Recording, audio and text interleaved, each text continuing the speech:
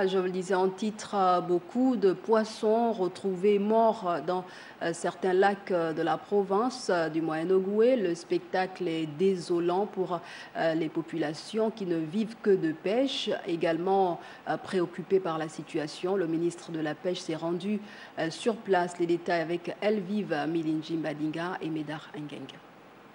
Mais qu'est-ce qui a pu transformer les eaux de certains lacs du Moyen-Ogooué en chambre à gaz, décimant par plusieurs centaines de, des espèces halieutiques, dont la carpe? Cette colonie qui, à pareil moment, ferait le bonheur des casseroles de nombreux Gabonais. Cette intoxication serait-elle liée aux effets indésirables inhérents au changement climatique?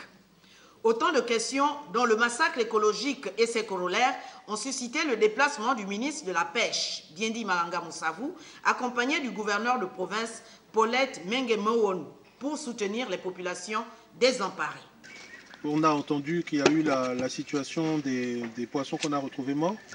C'est déjà discuter avec vous et puis encourager le gouverneur, le préfet et toutes les équipes pour qu'on arrive rapidement à savoir quelle est la cause de cette situation et identifier si c'est dangereux pour les consommateurs ou bien les gens qui boivent l'eau ou bien tout, tout, tout, ce qui concerne ce, ce secteur-là. Cette population atteinte par la psychose, car c'est vrai de son principal aliment de base, demeure confuse quant aux origines qui entourent ce mystère. Depuis que c'est arrivé, on n'a reçu aucun cas de maladie. Pas du tout. Aucun cas de maladie. Peut-être que ça peut peut-être s'exprimer plus tard, mais c'est sur la, base des analyses qui seront certainement faites que nous serons plus édifiés de façon assez claire.